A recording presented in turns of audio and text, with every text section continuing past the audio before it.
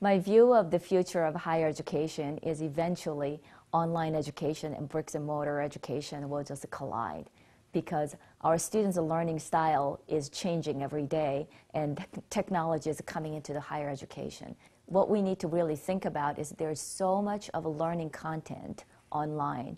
So cloud learning, which is taking the online content and organizing it in the manner that our students understand is going to be more important than the delivery model itself.